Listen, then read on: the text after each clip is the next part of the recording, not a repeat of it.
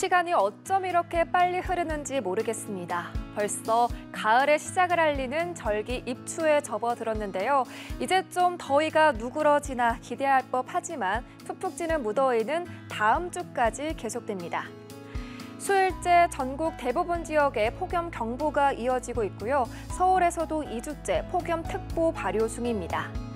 이에 따라 온열 질환자가 무려 1,800명을 넘어섰습니다. 더 이상의 피해가 발생하지 않도록 물도 자주 마시고 실내에서도 틈틈이 휴식을 취하시는 게 중요합니다.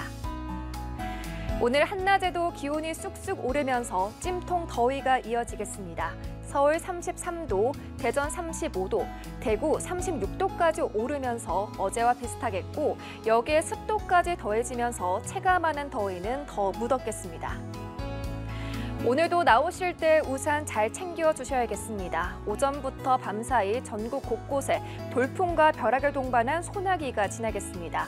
예상 강수량은 최대 60mm가 되겠고요. 특히 경북에 시간당 최대 50mm의 강한 호우가 집중돼 주의가 필요합니다.